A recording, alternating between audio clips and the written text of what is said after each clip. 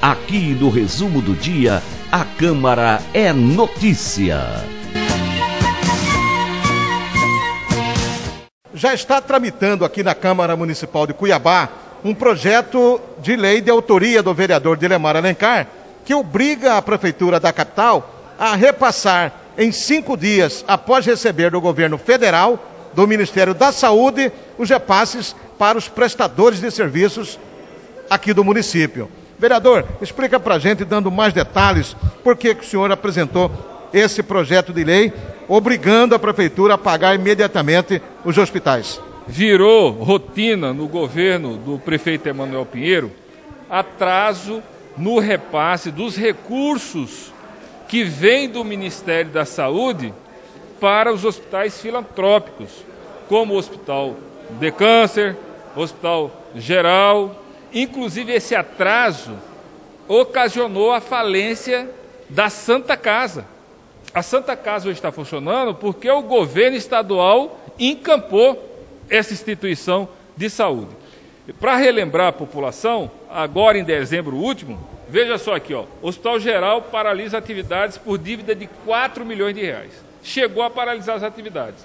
Olha só outra aqui, ó, Hospital do Câncer paralisa atendimento por falta de repasse de 6,3 milhões.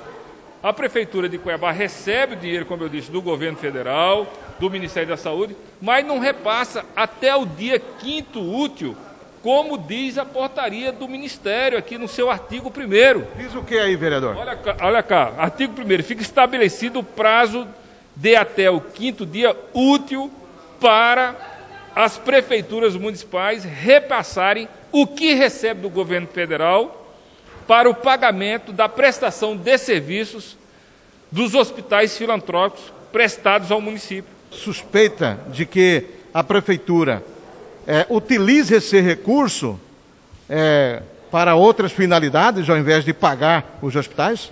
Existem muitos pontos de interrogações nesse sentido, que a prefeitura fica com o dinheiro que vem carimbado do Ministério da Saúde para o pagamento dos hospitais filantrópicos, usa em outras áreas, é, demora dois, três meses, depois de um esforço grande da cobrança desses hospitais, aí é que ela repassa. Os hospitais ameaçando paralisar as atividades. Ora, quem sofre com esse atraso, esse descaso da prefeitura e não cumprir o prazo de cinco dias úteis, é a população mais humilde, mais pobre. Porque o dinheiro não é da prefeitura que vem do governo federal. O dinheiro é dos hospitais filantrópicos. E a prefeitura não pode ficar usando esse dinheiro em outras atividades. Ela tem que pegar esse dinheiro e até o quinto dia útil repassar para pagar o que deve a esses hospitais.